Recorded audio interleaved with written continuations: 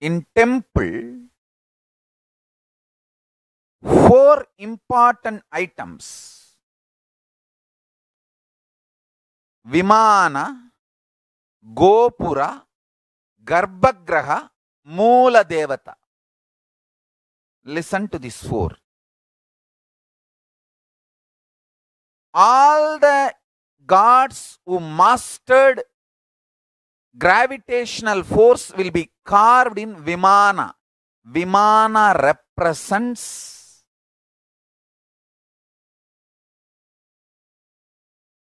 mastering gravitational force.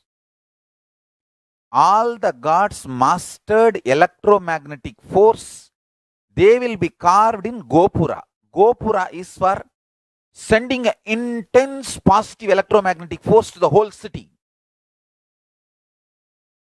Garbhagriha is intensely to radiate ईश्वर शक्ति mastering weak nuclear force मूल devta is Ishwar shakti mastered strong nuclear force listen listen then you will understand Hindu temple is a spiritual science laboratory to help you manifest Ishvara Shakti. Hindu temples are not just social centers,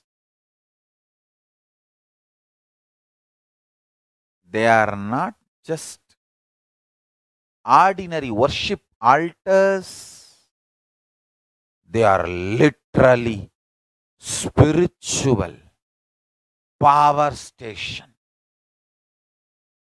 The station for charging you with Ishvara Shakti. Listen. See the words Vimana means flight. Gopura means electromagnetic tower. Garbhagraha, the place for weak nuclear force. Moola Vigraha, the place where that strong nuclear force emanates. Understand how logically these words are matching with these forces. In Vimana, all the gods flying with wings, Gandharva, all their statues will be there. But in Gopura, they will not be there. In Gopura, only the gods who spread intense vibrations will be there. You should see the deities. Gandharvas, all of them will be carved only in Vimana. Vimana is which is above the main Garbha Mandir. Gopura will be which is entrance. If you know a little bit about Hindu temples, you will enjoy what I am talking.